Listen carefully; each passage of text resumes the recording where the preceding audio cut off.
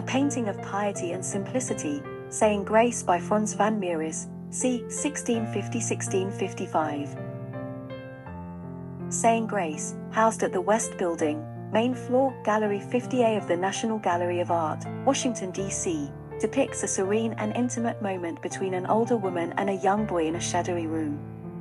The woman, seated in a wooden chair, is cutting a slice of bread while looking towards the boy, who stands with his hands clasped as if they are about to say grace before eating.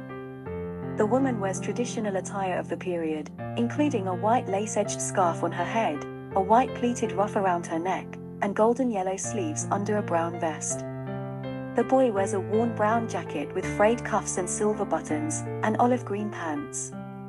A plate with butter sits on a three-legged stool near them. A spinning wheel with unspun wool rests near the wall, illuminated by sunlight filtering through an unseen window. The painting is a masterpiece of Frans van Mieris, 1635-1681, a Dutch painter of the Golden Age who specialized in genre scenes and portraits. Van Mieris was influenced by his teacher Gerard Dou, who was a pupil of Rembrandt.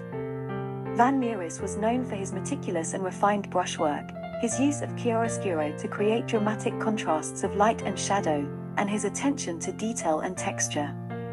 He often painted scenes of everyday life with a touch of humor and elegance. Saying Grace is an example of Van Mieris's skill in capturing the mood and expression of his characters, as well as the atmosphere and setting of the scene. The painting evokes a sense of piety and gratitude, as well as simplicity and modesty.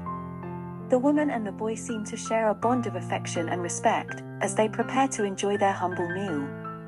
The spinning wheel and the unspun wool suggest the theme of work and potential, as well as the passage of time and generations. The painting also reflects the influence of the Protestant Reformation, which emphasized the importance of personal faith and devotion, as well as the value of domestic life.